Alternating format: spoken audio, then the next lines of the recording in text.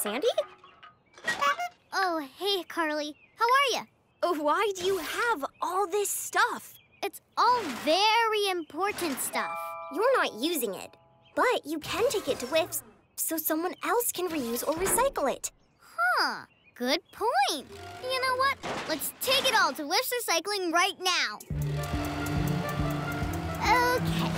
All ready to sort and recycle. Goodbye, bike. Hope someone finds you and loves you.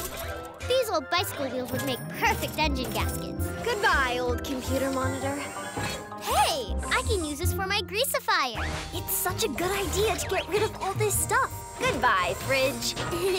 this is still useful. And goodbye, shoe. Join the other... What? Where's the other... Oh. Well, I'm not gonna waste it. I'm just gonna reuse it myself.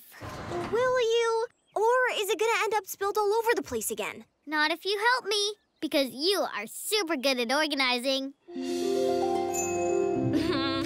okay. Yay!